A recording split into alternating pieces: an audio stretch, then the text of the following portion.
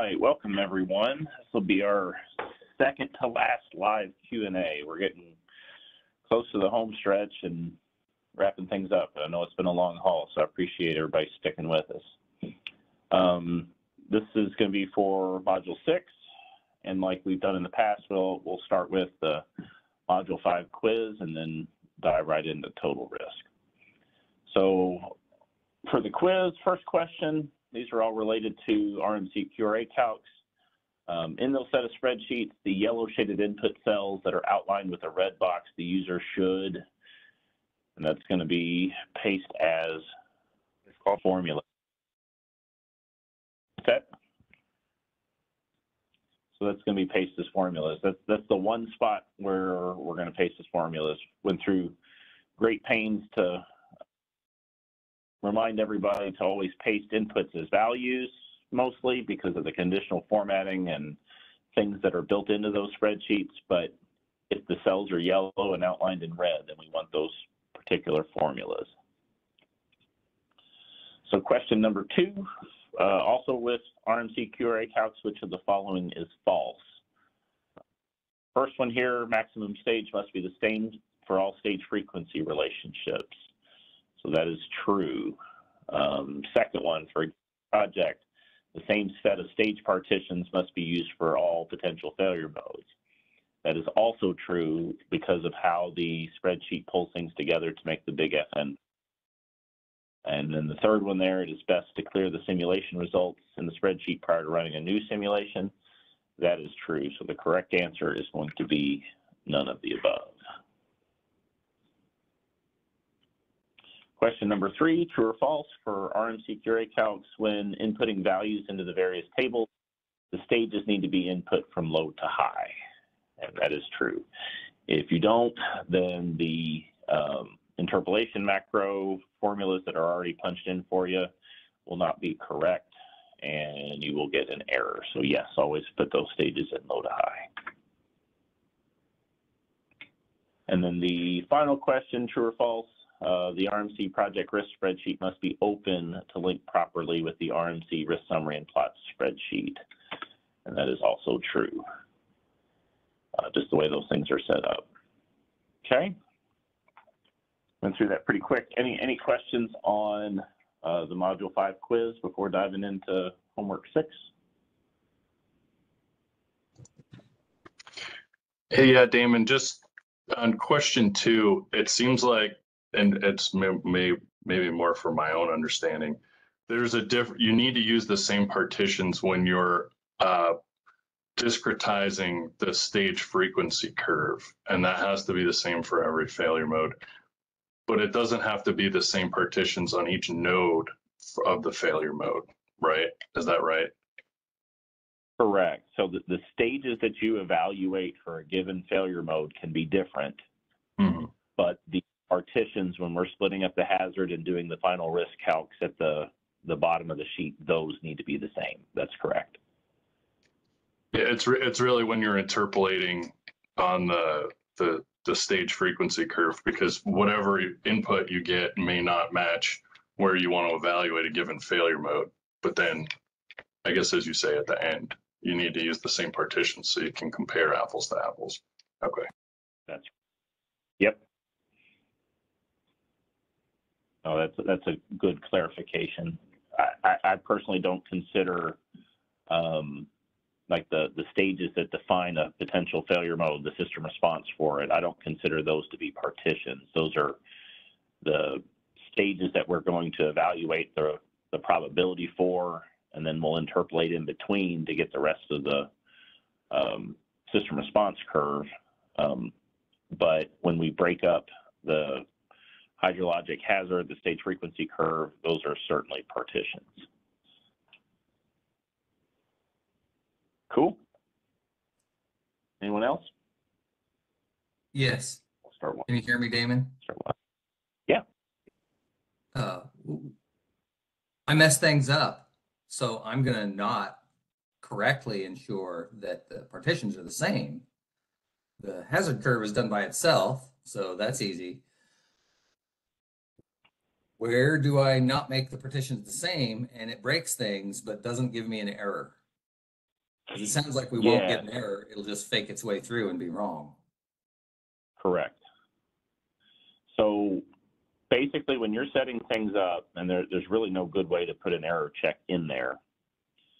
Um, I'm- I guess there is a way, but when you're doing the, uh, and you're on the PFM worksheet, you have the option of it making even bins, or you can override those if you want resolution at a specific stage range. So if you never override those and just go with it, you're good. If you want resolution somewhere and you override it in one of your failure modes, that's what you need to use and carry forward throughout. Let me see if I can show you an example. So and and and so overriding would be common in almost in, a lot of risk assessments because you want to have maybe even half a foot intervals in what you look at for response on overtopping. that right? Overtopping would be one, yes, or something, um, spillway erosion could be another one, or really anything that has a critical change in the system response at a certain elevation. If everything's kind of a straight line, then it really doesn't matter, but if you've got sharp breaks, then that's both in your hazard and in your system response. Those would be places you would want to consider additional resolution. Okay. And so if you just put them in your hazard curve, you have extra points in your hazard curve. Mm, no, you'd not rather quite. Override locally, wouldn't you? Yeah.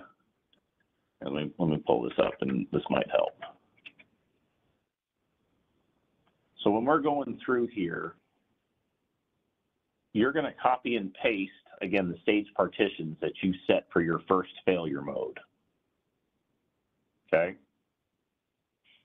And whatever was set for your first failure mode, when you get to the second one, it just pulls them in it is set equal to whatever was in that first one.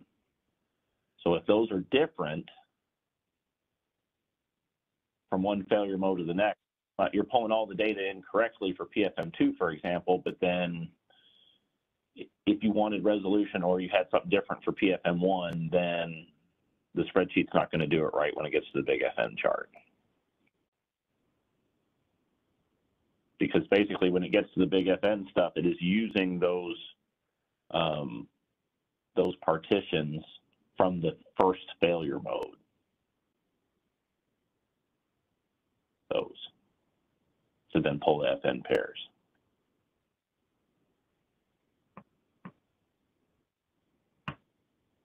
So I hope that helps. I mean, you just got to make sure that they're consistent throughout. That's one of the limitations with how the way the spreadsheets were built. Now, if I wanted to add some error checking, I suppose that I could, instead of setting these partitions equal, I could force you to paste those in from the PFM risk spreadsheet, and then if they were different between one failure mode to the next, it could flag it. That might not be a bad add in the future.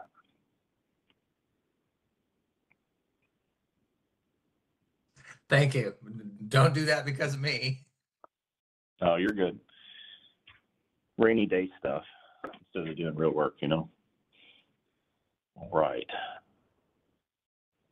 Well, if no one has any other questions, let's switch over. Stop sharing this screen and start sharing another screen. And we will get into RMC total risk. I think most everybody were able, was able to get uh, total risk installed on their computer and running, with the exception of maybe one. Oh, I forget who that was. But if you're out there and once I go through this, if you want to troubleshoot, maybe you can share your screen and we'll work through it. But uh, let's pick up with homework six. One second.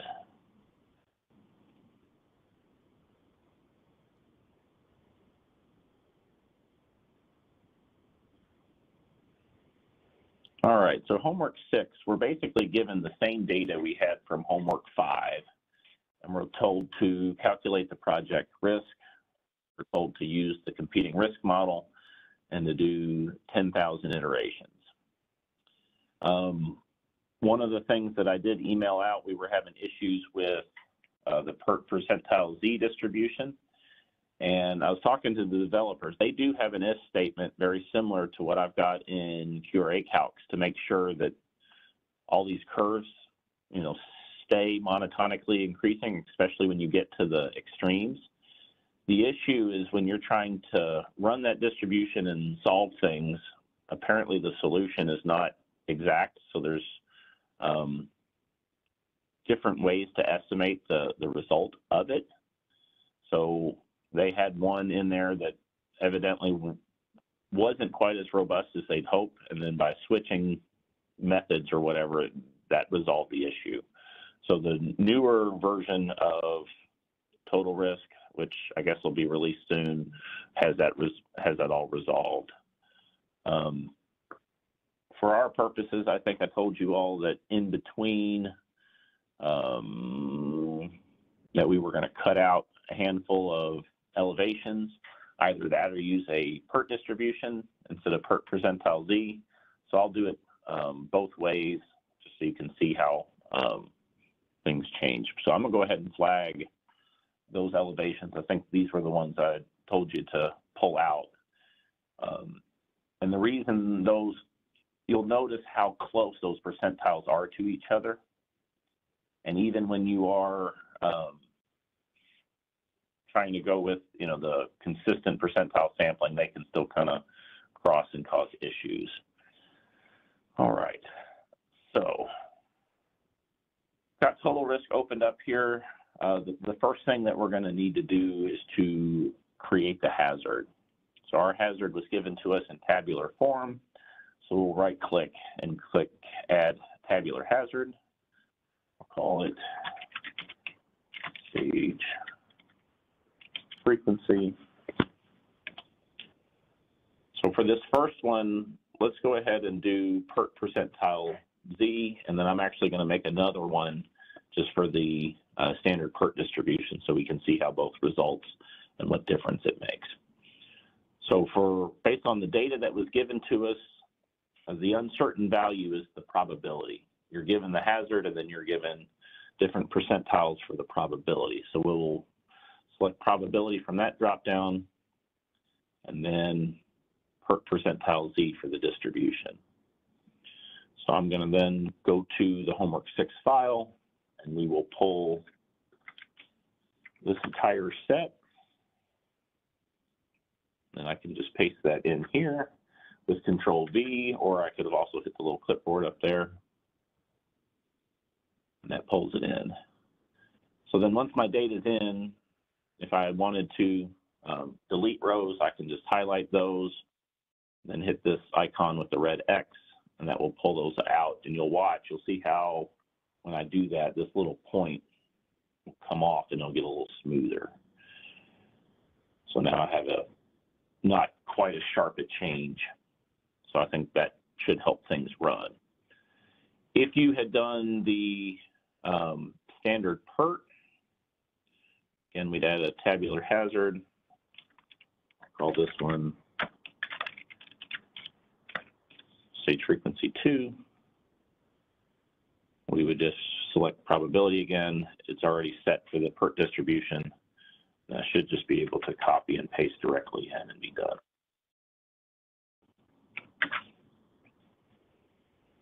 So on and so forth. So you can see how the, the bounds change a little bit from one to the other. We're actually trying to, by using the percentile Z, we're trying to be as faithful to um, whatever our hydrologic engineer gave us and trying to hit those specific percentiles as we're going through. Um, Troy, I see your comment there about um, it crashing on you and adding the PERT.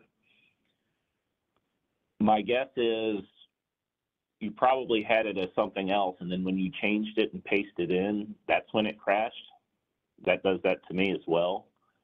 I don't want to do that here because I don't want to have to reopen total risk, but uh, I have told the developers about that. I'm not, it's on their list to fix as a Yeah. I didn't do it as a, as a separate hazard like you did. I was, I think, probably changing it. So yeah, that, that's probably what did it. Thanks. Yeah, no, no, yeah, and I'm sure it did it for most everyone. Um, they're still combing through the last little bit of bugs before they publish this thing for real, so hopefully they get that fixed. All right, so we've got our stage frequency curves in there. Uh, we'll run the analysis both ways. Our the next thing we need to do is to get our system response um, set up. And we've got three failure modes. The first one is overtopping, which looks like it is a four node event tree. Uh, PFM2 is an eight node event tree, and I think PFM3 is also an eight node event tree. Now, in the most, most if not all of the examples I did in the module six presentation, um, we used templates for the system response. And those are available to us, but because of how some of these nodes are set up, I think I gave you inadvertently gave you some um, like overtopping has um, four nodes in the homework, but on here, let's see what we get. One, two, three, four. We have up to five nodes, for example. So that's not super helpful. I didn't, um, in the homework, I didn't give you the short descriptions for the nodes, so you, it's hard to tell which is which. So what I'm going to do instead, instead of using the template, let's go ahead and build these from scratch. I'm going to call this one PFM1 overtopping.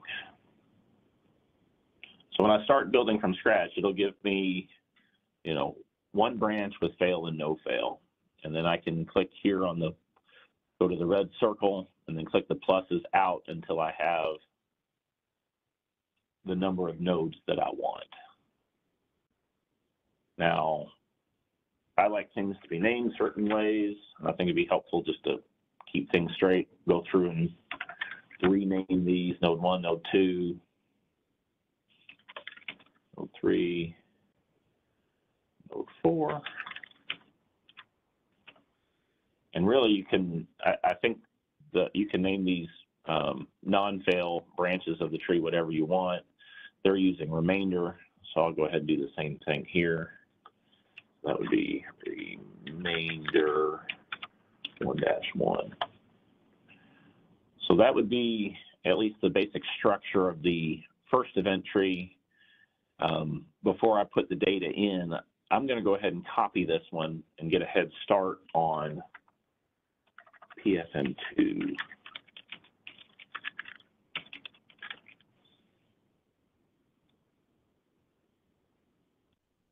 And then that one was eight nodes. So I'll keep adding until I've got those. And then conveniently, uh, PFM three is also going to be eight nodes. So once I have this built, I'm just going to copy that one over.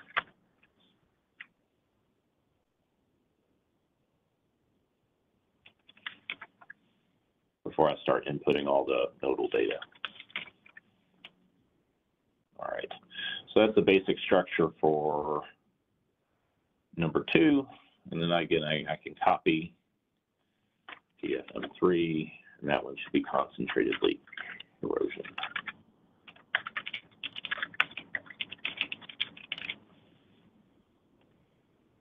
All right, so I've got my the structure for my three event trees. So now I'm going to um, start inputting my data. So let's go ahead and pull this sheet up and kind of go side by side.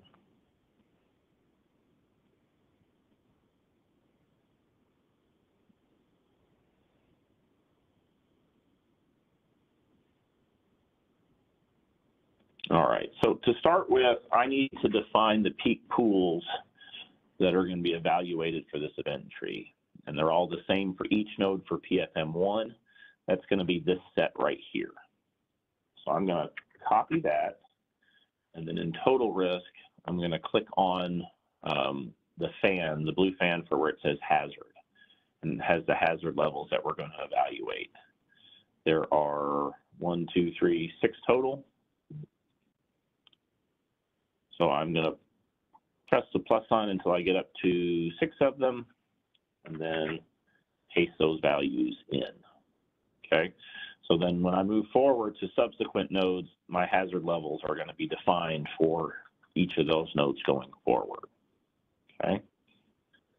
So then for node one, we're told to use a triangular distribution, I'm given this data here. So I can copy that. Node one, source is multi-value, multi-value in a sense that I'm gonna evaluate each hazard level and then pick a distribution. So we're told triangular for this one, so we'll pick that, and then I can, oop, wrong spot. Click in here and paste the min most likely and max in from the homework file. Okay?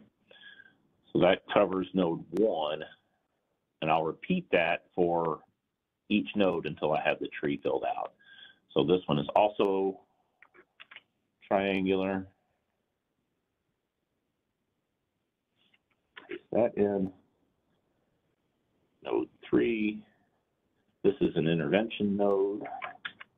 But there's nothing special in total risk about um, intervention nodes or not. And I'll show you, after I get all these set up, I'll show you what we would have to do if we wanted to look at something without intervention. Got node three in there, and then node four.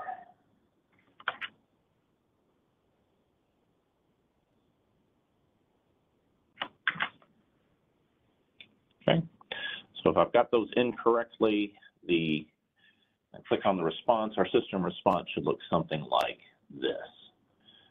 Um, because we're dealing with an overtopping failure mode, we're not going to mess with any of the interpolation transforms. So I'm going to leave it as none for both the hazard and the probability.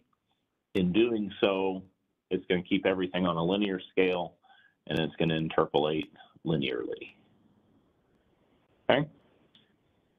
Any questions on PFM1?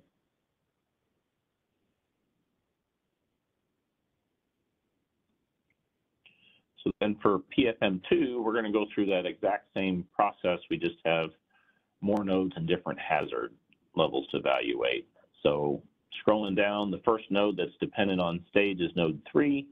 So those are the values that we are going to want to grab. We'll click on the hazard fan. We will add our five branches, because there's five stages for this one, and then paste those in. Um, this one, I do want to change the interpolation transform. We're going to go log for probability. So basically, that's like um, semi-log when we're doing things in the um, QRA calc. So it's linear for stage, which is the hazard, and then logarithmic for probability. All right. So our first node here, I've got the same value in for um, these two peak stages. So basically what that's telling me is that this is independent of stage. So I've got a couple options here. I can put the same value in for all of these stages, or I can change the source to single value and triangular and then just punch these in. So it's 0.3, oop, 0.3, 0.7, and 0.9. So whatever stage it's looking at, it's going to use this single value across the board for it. And by single value, the single distribution. So in node two, we're going to do the same thing. The triangular, except it's going to be single source. And then I want 0.7, 0.85, and 0.99.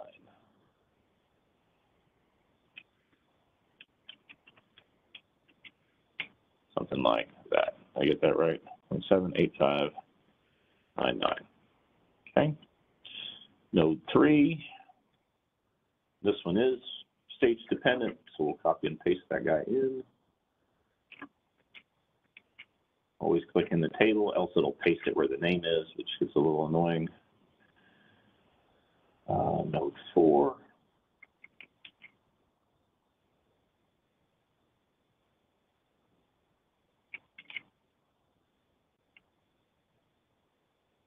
four. Five is gonna be another state's independent one. I'll do this one differently. We'll just go ahead and do triangular. I'll copy that, that same value all the way through. This will do the exact same thing as if I had changed and done single source. Uh, node six, it's like a kind of a pass-through node, single value. Since I don't have um, a distribution here, I'll leave it as deterministic. And I can just punch a value of one in for that one.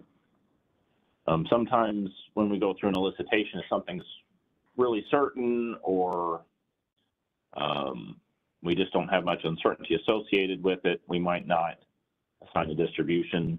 So a node value can be deterministic, and when it is, it won't necessarily always be one. It's it just is in this example.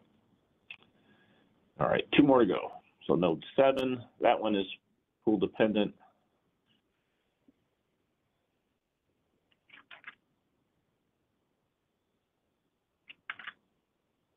And node eight is pool dependent.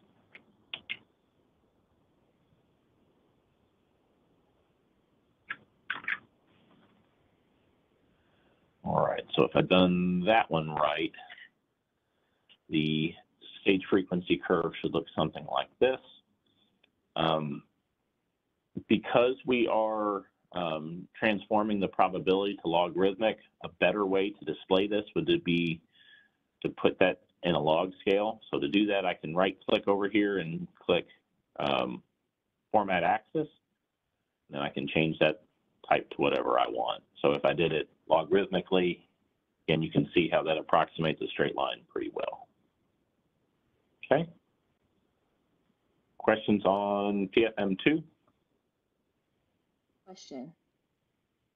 Yeah.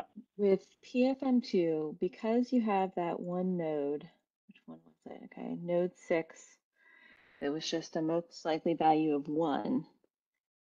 hmm If you just got rid of that node and didn't include it, would you get the same results? Or would it Yes. be different? Okay. Yes, 100%. That- So That's how I got around the issue of having seven nodes versus eight in the template. that works um, because I didn't give you what the actual nodes stand for. But um, yeah, whether you include that node or not won't change the risk calculations at all. But I do think it's important to include it in your event tree because that is an event that has to occur to get you to failure. So that way, you know, when you're going through a risk assessment, you've got your potential failure mode description, and you break that description down into an event tree, all the events that have to occur need to be there, regardless of what their probability is. So yeah, from a calculation standpoint, it won't change anything, but it, best practice would be to include it though. Very good. Yep. Awesome. All right. So that is that one. And we're going to do the same thing for PFM3. I'll, I'll just kind of walk through it and do a little less talking on this one since we just did it. Um, tools that we're going to need to pull from. Uh, node 2 is the first one that is stage dependent. So we'll grab that guy. It's got five as well paste those in, and then the rest is just a lot of copying and pasting. I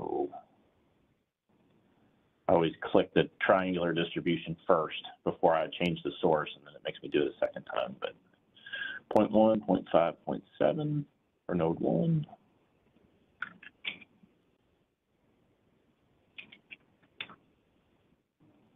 Node 2.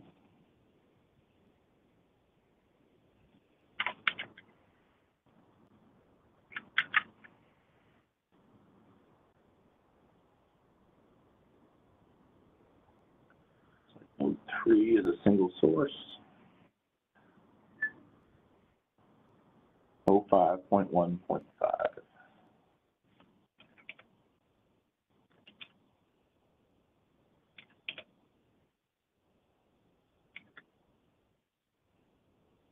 Four oh one oh five point one.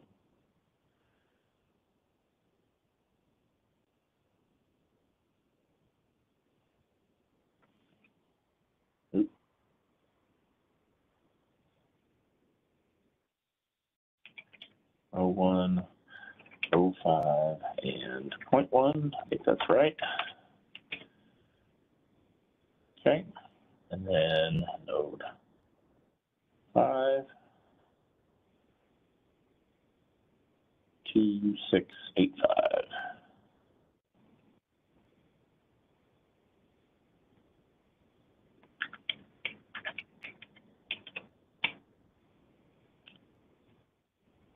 Node six, for whatever reason, is also a pass-through node, just like we saw in the other failure mode. The node seven and eight should both be pool dependent.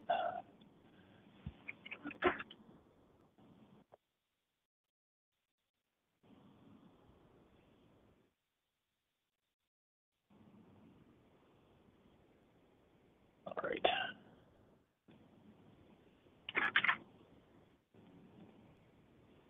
Node eight.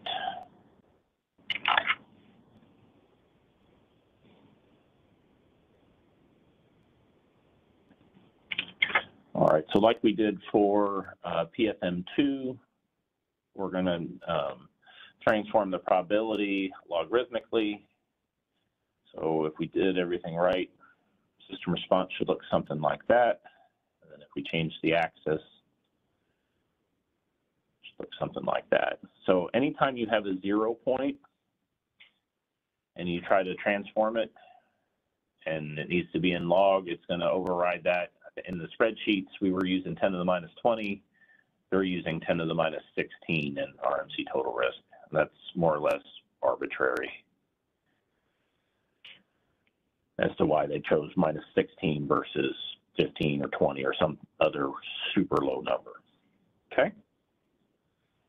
So that gets us our system responses. Um, so next, we will move into uh, our consequences. So we will need, let's see, we're going to need six, we have um, four different scenarios, breach day, breach night, non-breach day, non-breach night. But we're going to need two other functions in total risk to create our composite so that we can weight them by the exposure. And we're told to use the PERT distribution for both sets. So we're going to right click and add a tabular consequence. This will be for each day. And to use a PERT distribution. Hazard types already staged. The units for the hazard are feet, life lost lives.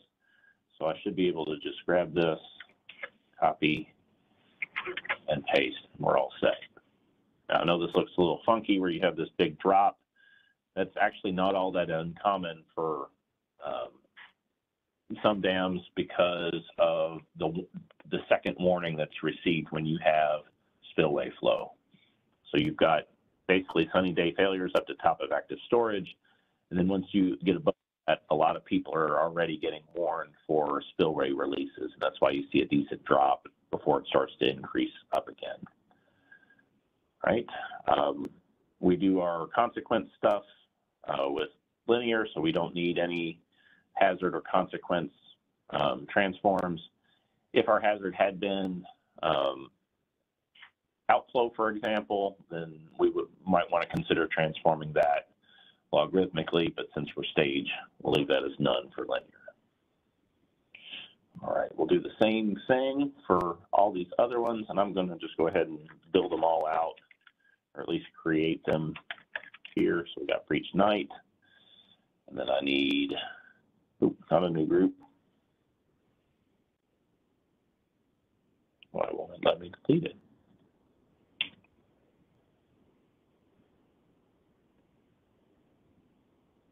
Ungroup, there we go, not delete. All right, so add one for the non-breach day. Then the non-breach night.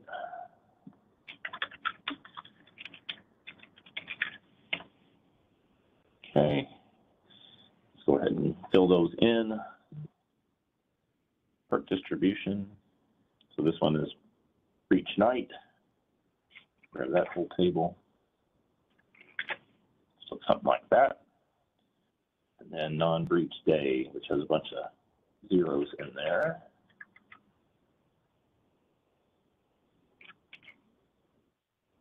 And non-breach night.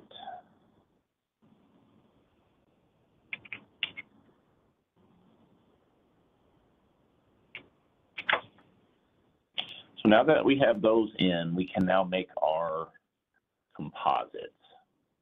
So I'll right click again and add a com- uh, composite consequence.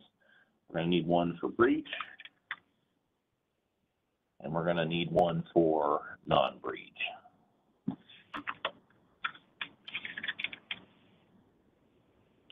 And both of them, we're to, the composite type is to be a mixture because I'm bringing in two different functions. I've got the functions that I've set for day and night. This one's for breach. And then I've got my exposures. So I'm weighting those by the exposure. So day is going to be 0.45 and night's to be 0.55.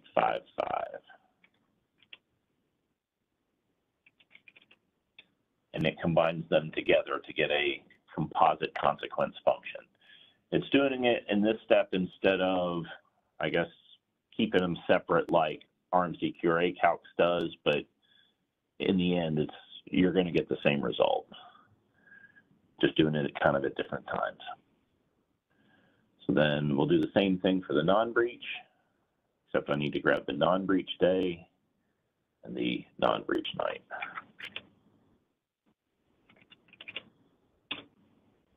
Okay. So that should be all set. I'm gonna go ahead and save this now just in case we run into any issues um, running the simulation. And you'll notice how we've got stars on each of our, um, each piece. Please don't break. Why it's taking so long?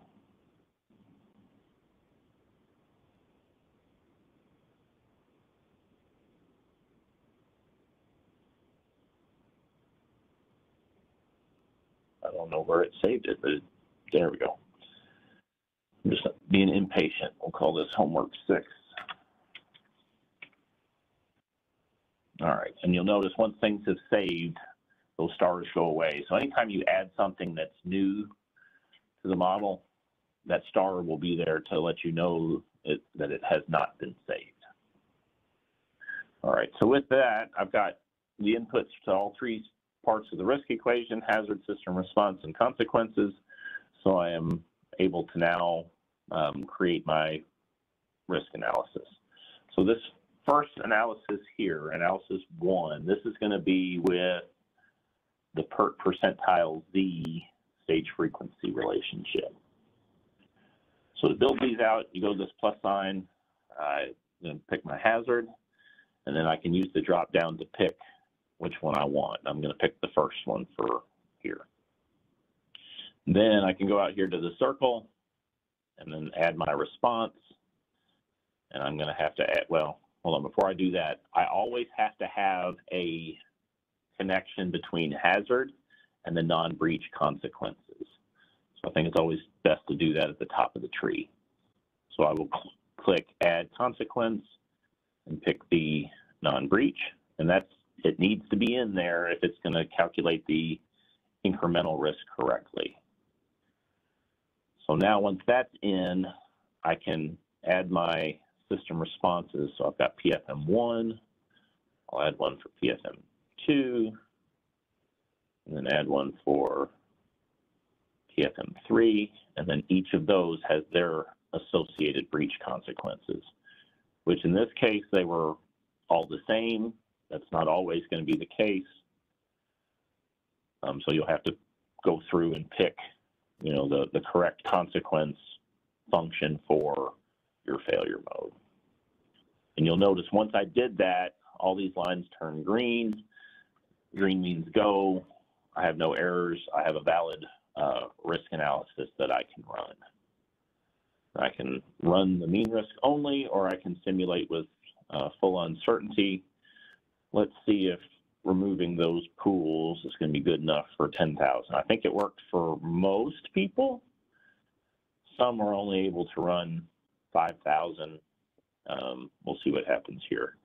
Um, for our failure mode method, you guys were told to use competing risk, and this is where you would choose that. Um, we've talked about all those different um, risk models. Uh, you got the joint model, competing risk, uh, common cause, and then mutually exclusive. So, um, generally speaking, joint failures is going to give you the best result. Um, but to try to be consistent with what we did in homework five, we were asked to use competing failures. So I've got that there, and we should be set and ready to go. Let's see what happens here.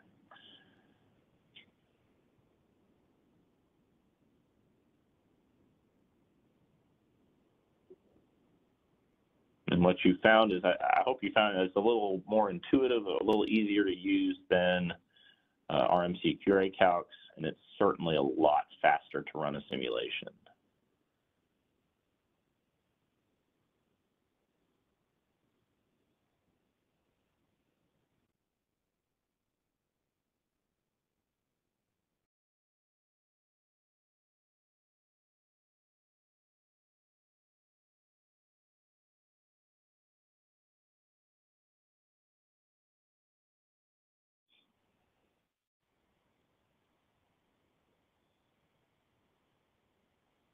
All we got a winner. So then up here, we can go through, we can see our big FN plot, pulls it up with the incremental, and you can toggle on the background or non-breach risk. You can toggle on the total or residual risk. And then you also have these failure and non-failures. So those are, um, you know, these two things are complements. So what the failure is doing is it's taking the failure probability and using the breach consequences. So it's going to follow similar to the incremental, but have slightly higher consequences because we're not subtracting out the non-breach consequences when doing that. So you can see how it comes a little bit higher. And then the non-failure is going to be the complement to that, not necessarily the 100% um, 100% reliable case that you would see for the background. So those are going to be really close to each other generally, but a little bit different. Okay. Um, if I want, I can go down to the risk analysis and I can actually see the FN plots for each of the individual failure modes if I want. So you can kind of turn things on and off as you want. Um, we go over here to the uh, alpha eta plot. Uh, eventually, I think the Corps is going to change their terms. Instead of doing FN, it's going to be alpha eta. I must confess I don't fully understand the the reason or what, but that's coming in the future. So that's going to be our little FN plot.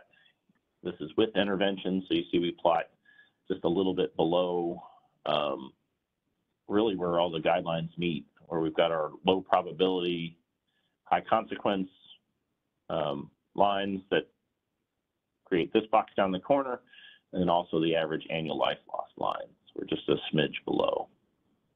Um, we can turn on each of the failure modes, and you can also customize these plots as you want. By right-clicking, you can change their colors, you know, make things, you know, present however you'd like to see them. Let's turn those off again. And then you also have the summary statistics where you can um, pull the data for both probability, that's going to be your APF, um, this conditional mean, that's your N bar, and then the mean here, that's going to be your average annual life loss. So it can be a little confusing going back and forth between um, this program and then kind of what we've talked about up through this module in the course and some of the terms we use in the future. Like I said, the course is going to be changing their terms and uh, we're going to be more consistent from one thing to the next. Uh, you can also pull in and see, um, let's like this big, how the different failure modes rack and stack as well. And when you pull in a failure mode, that's not the contribution to the total, that is going to be the marginal estimate for that potential failure mode. Okay? Any questions on that? Um, and then from here, I'm going to go, I'm going to run a new analysis, but use just the PERT distribution to show how the result changes. So any, any questions before doing that? Damon, this is Michael. Yeah. I, I, I hesitate to ask this question because you previously explained the, say, the non-breach risk was not presented correctly. And you showed how you had to make an adjustment to get that to display properly in the FN chart. And when you click Yeah. through the residual and the complement and the various alternatives, it, is that where you would do a quality check to see if somebody botched that? Like, I feel like the difference between the complement of the uh, hazard without regard to incremental consequences, just total consequences compared to something else. Like that might be how a reviewer would know that we messed it up earlier on by not accounting for the the foible in the chart that you explained. Have to take extra steps to properly show, I think, the non-breach consequences. Yeah, so, so what you're referring to is for special cases, and that is when we have to use a composite hazard.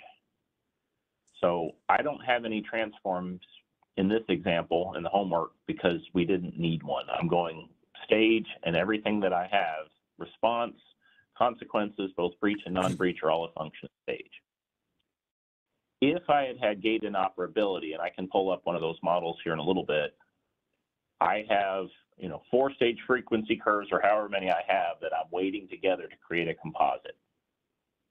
In doing that, my hazard here would be composite. So it's lumping in the impacts of gate inoperability, which is in fact a failure mode. It's not 100% operability. So if I were to link that directly to non-breach, I have a, a bad relationship there. I, I, it's not true to what non-breach should be. So that's why we had to create that transform to go from composite stage to 100% reliable stage so that I could then link directly to the non-breach consequences. So if you can give me a minute, let me get through this homework and then I'll pull up. I think I still have that um, total risk file available. I'll pull that up and show you again the difference and why we need it. But hopefully that made sense. I think so. Thank you. Yep. All right. So this is what the analysis looked like for the first one. Uh, the second one is going to look exactly the same, except I'm going to change the hazard. So I'll go ahead and copy that down, call it analysis two.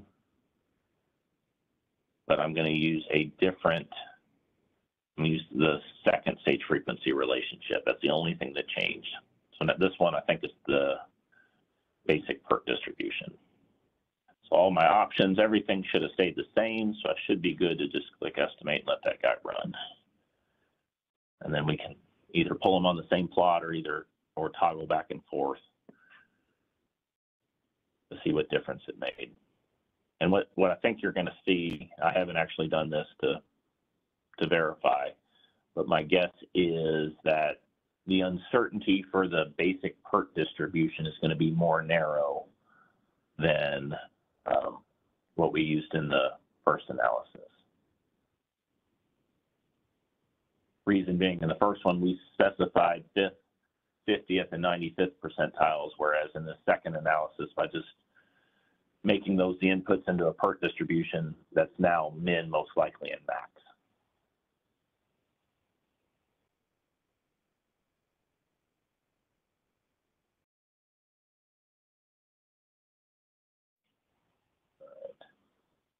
Yeah, and we see that we plot in more or less the same spot.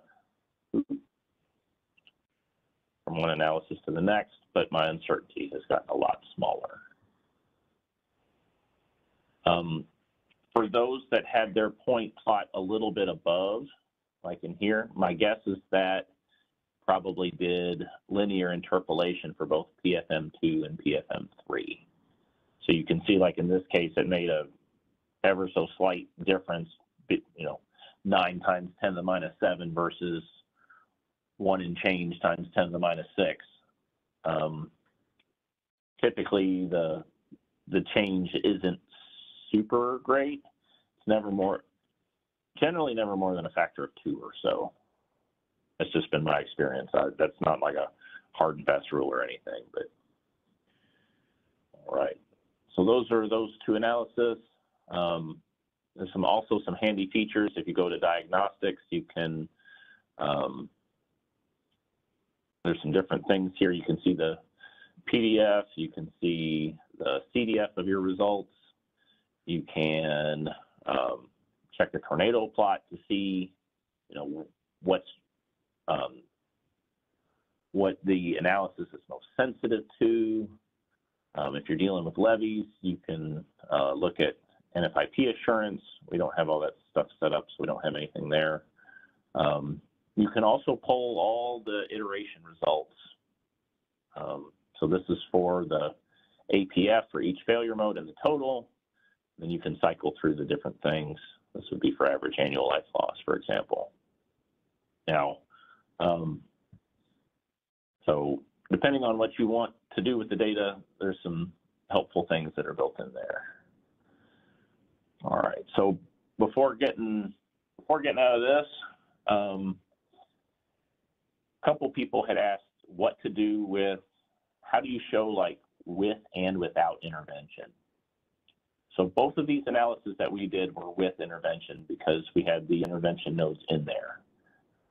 If we wanted to take the intervention node out, the best way to do it is to go ahead and copy each of these. I'm gonna call this without int.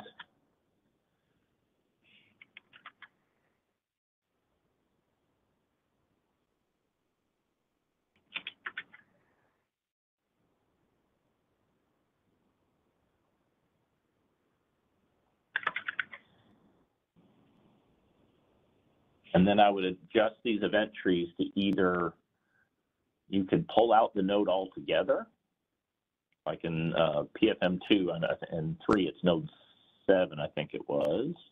Double check that, but.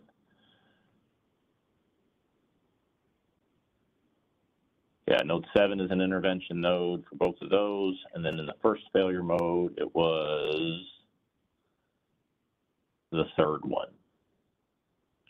So to do that, I can either go in here, I can make this single value and just change that to a one. That's one way to do it. Um, except I just did it in the wrong spot, so that's awesome. Go back to multi-value. Good, my data's still there. Um, I would want to do it here. The other option you can do is you can actually just delete that node out of the tree.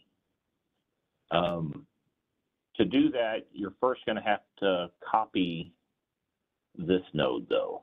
So if I go here to the node right here, I've got the option to delete all branches to the right and I can copy all branches to the right.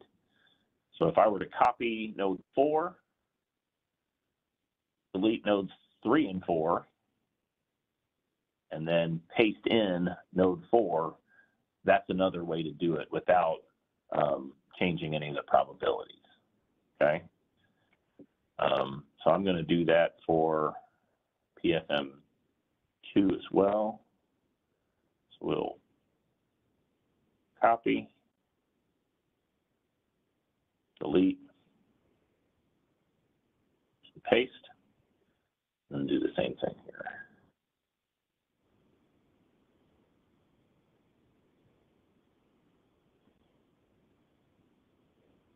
And we should be set. So then to actually get that analysis, I'm going to have to create a new analysis. It's going to be set up much the same way as this one. So I'm going to go ahead and copy it, but call it without intervention. And the only thing that changes, the stage frequency is going to stay the same, the consequences are going to stay the same, but I want to pull the without intervention system response.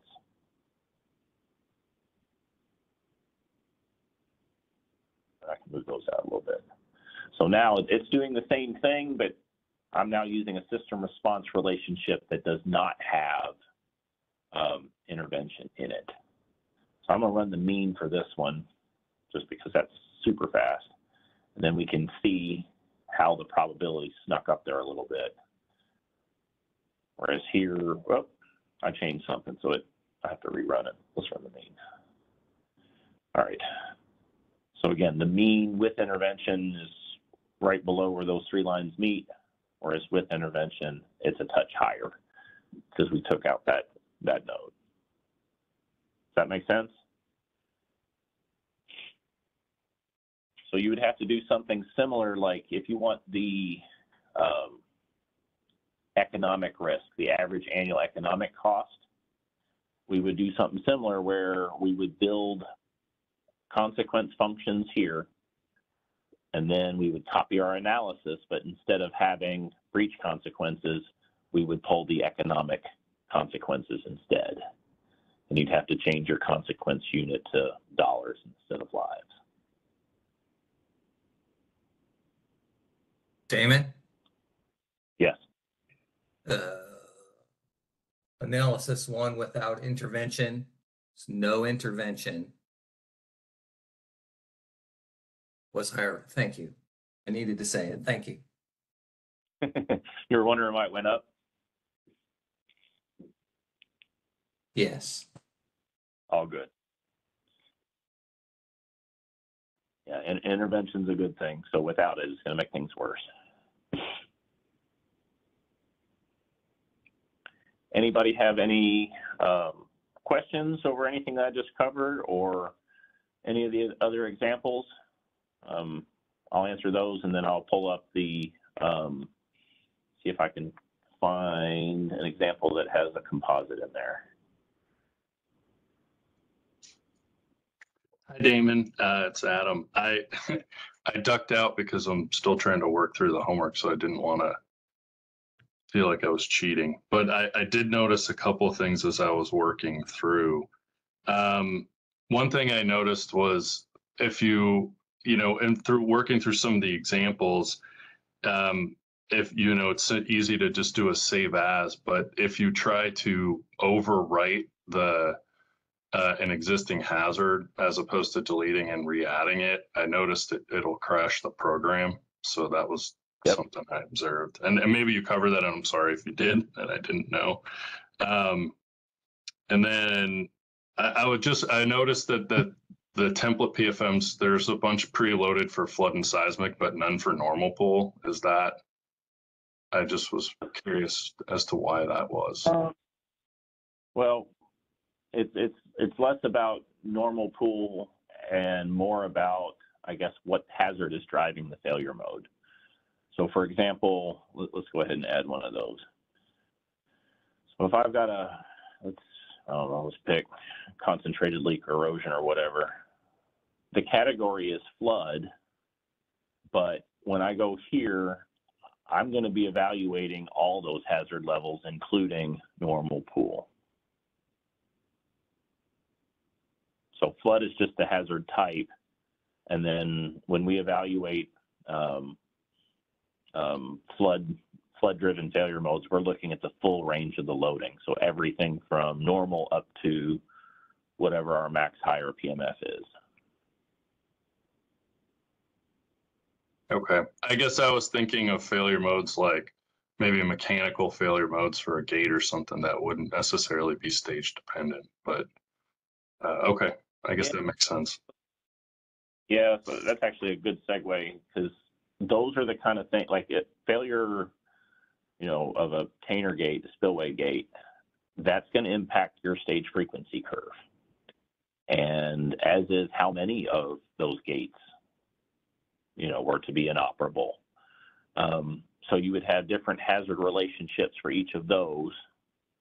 And then you would weight those together based on their probability and then so on and so forth. So you would have that set so you can account for that there. Those are the kind of things that aren't necessarily, they don't, they're not failure modes in a sense that they lead to breach on their own. They have to make something else worse.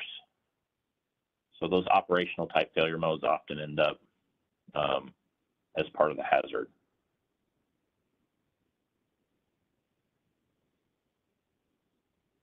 Does that make sense? Yeah, I think so because you guys are, or I shouldn't say you guys, but you're the failure mode has to progress all the way to full breach of the dam. I guess is the assumption, right? There's nothing that, uh, you know, you're not really considering like a just loss of a single gate that may not be a full breach, that kind of thing. So I, yeah, so I, I see where you're going with that. Like you're tending to incorporate it into a, a failure mode that's going to progress all the way to full breach of the dam. Correct. I mean, that is core methodology, but that's one of the nice things about the way TotalRisk is set up is you have the flexibility to, again, structure your trees however you want. So if there's a particular damage state that you're interested in, you could customize and build that to do that. You don't have to take it. Doesn't necessarily have to be something that goes all the way out to breach. So I, I know that when they were putting this together, they weren't. They wanted it to be um, as multifaceted a tool as they could so that, you know, other agencies, you know, and other, um, I don't know if discipline's the right word, but um, other people can use it for different risk analysis purposes, not just dam and levee safety. That makes sense. And, and yeah, at FERC, you know, we're considering a lot of damage state PFMs, which may have consequences, may have life loss consequences, or may just have, you know, economic consequences to the owner. But um, they, there's some that don't go all the way to full breach. I mean, we certainly consider ones that go all the way to full breach, but we're considering some that do not too, as part of our new Right. L2RA process. So yeah, that ability would be good. Right on. Uh, Mike, you asked if this is open source. I don't know. I mean, it, the, the, the program itself is eventually going to get loaded up onto the RMC website and be available for anybody to use, but I don't know about code and um, stuff like that. I can, if you're really interested, I can point you to the developers. They're always happy to talk about it.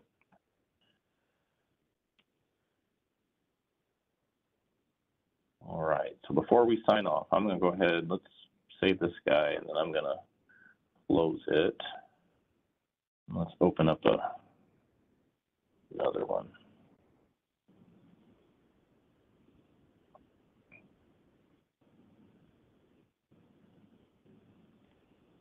I think this one has a composite in there.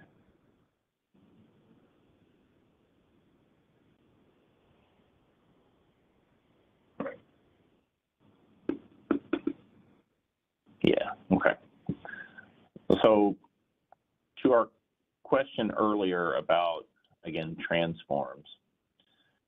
So this is the second example from the Module 6 presentation. We were, were given gate inoperability. So I've got four different stage frequency relationships. And you'll notice how with each of them, the higher stages get a little more frequent each time because I'm losing more and more gates basically. So when I take a composite and do that, that stage frequency relationship is obviously going to be different than what I've got for the zero gates inoperable. For the non-breach, by definition, that assumes 100% reliability, that everything's going to operate as intended. So I need to be using this curve to get the non-breach risk. But there's no real way to set that up in the risk analysis. I'm only allowed to choose one hazard. So to get things correct, I choose the composite hazard because that is going to be, that's going to impact all of my failure modes. But then to have the non-breach relationship, I need to be able to transform that back from, again, composite stage to whatever that stage would have been had the dam operated correctly. Um, there are other ways to set this up. You could have made your um, hazard a function of inflow instead. I think, how would that have worked? Yeah, so if you had the in, but even then, I, I, no. That's one of the ways we used to do it um, via spreadsheet, or there's an older program called DAMRAE where we would start with inflow, and then we would have transforms from inflow to stage for each of the gate interoperability um, uh, scenarios, but you can't do that in TotalRisk. Sorry, I misspoke. So the only way to do it is to start with that composite hazard and then transform to 100% reliable stage, and then you've got your associated non-breach consequences after that. So that way, when you do get to this point, we will have the correct um, background curves, and then when it when it does make this and this for the incremental, it's pulling the correct non-breach life loss, not something higher than it should have. So hopefully that makes sense.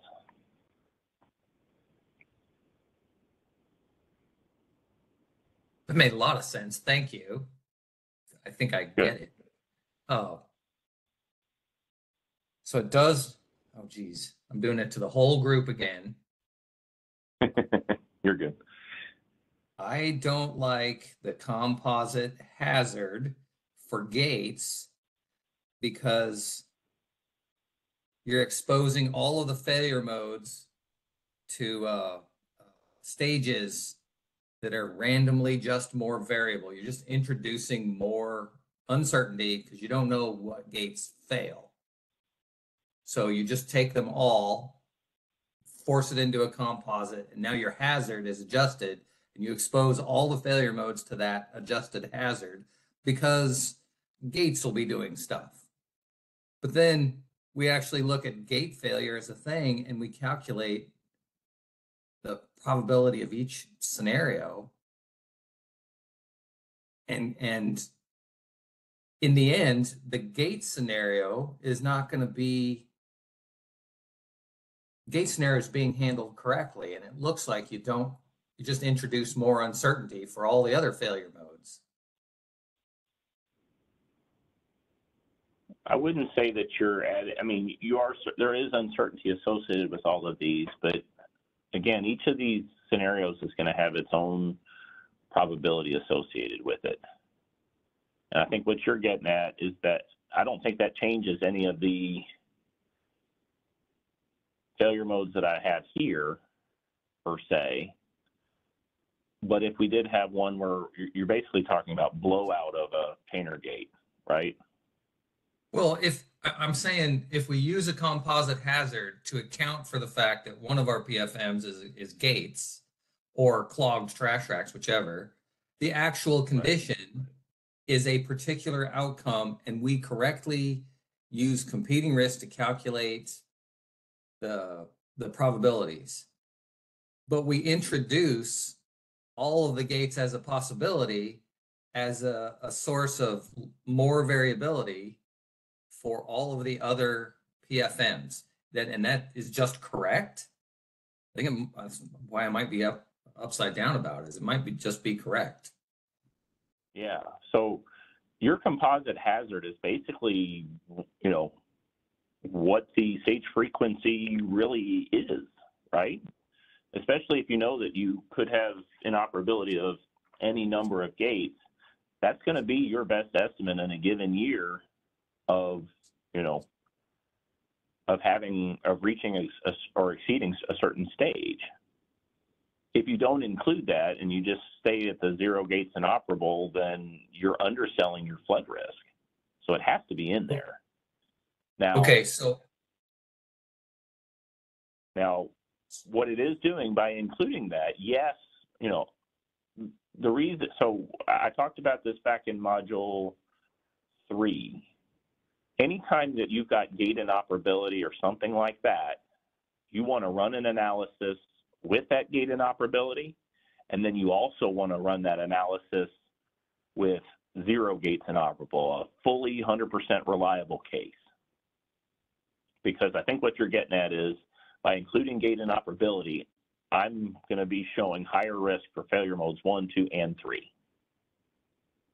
Right? I, I think so because you've introduced more variability into the hazard. Yeah. So the difference between those two runs, again, with gate inoperability and, you know, 100% reliability, that is the amount of risk that is directly attributable attributable to the gates. That's what's the gate's fault. Whereas the marginals for PFM 1, 2, and 3 would be tied to zero gates inoperable.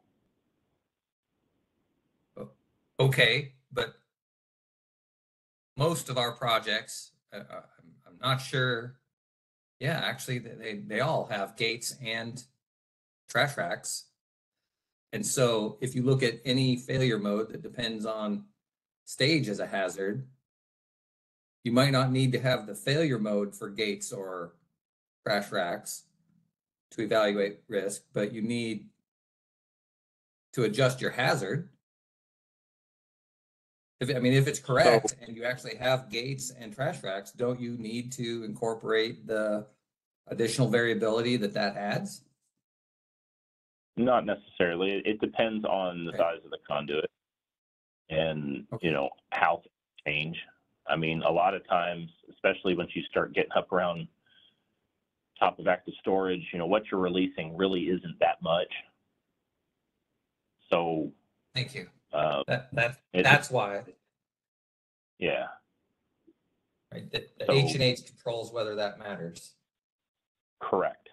Yes. Cool. Thank you for everybody's time on that one.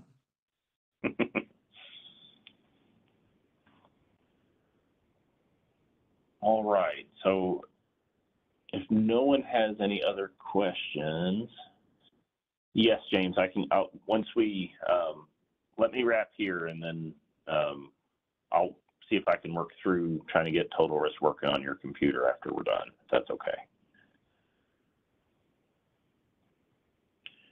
All right, so with that, um, couple things that we need to do. There's going to be a Module 6 quiz out there, and I need to give you the buzzword.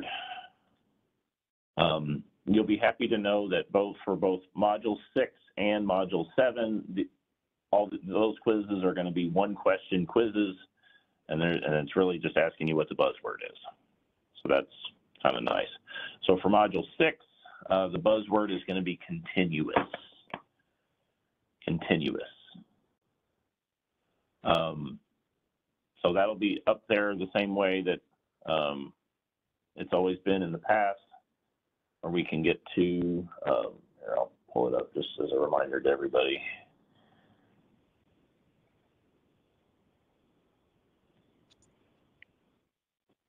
So Sorry, again, you said through- that was continuous, correct? Continuous, yes. So like before, we'll go to Socrative, click student login, and then this time it'll be DLS 105 R6. I don't know if that's up and running just yet, but it, it should be here by the end of the day at the latest. Yeah, it, it's, it's not up just yet, but it'll, it'll be up very shortly. Again, only, only thing you're going to need there is for the buzzword. Um, moving forward, I will be, I need to get um, Taylor to send out an email with, um, I guess, the, the class roster and what I've been tracking for submittals. Um, I think I've caught up with it, but there's times where if I wait too long, there's a lot of things that go through that RMC training um, email address. And if I missed something, I want to make sure that you get credit. So I will be um, having Taylor send out an email with that spreadsheet so you can check. Um, and if I happen to miss something, you can resend it and I'll give you credit. That's going to be for um, the homework assignments and the quizzes, making sure that we have everything submitted and you're getting credit for all the stuff that you did. Um, also today, all the module seven stuff will get posted. We'll start moving into, uh, this will be the, the last module. Um, and it's a relatively simple thing. We've done all the hard stuff and now module seven scales it back and talks about semi-quantitative risk assessments and what that does to our calculations. And there's a, a toolbox associated with that that we'll walk through. Um, that's going to be a, a shorter presentation, not one of those, you know, hour and a half, two hour marathons that I put you through earlier. So module seven should be a, um, probably a welcome change when you get there. So, so if no, nobody has anything else, again, I appreciate your all's continued participation through this. Um, one more module to go. Uh, we'll have office hours coming up. I think it's next week. I did, but be sure to check the um, the course schedule and your uh, participant workbook, and we will go from there.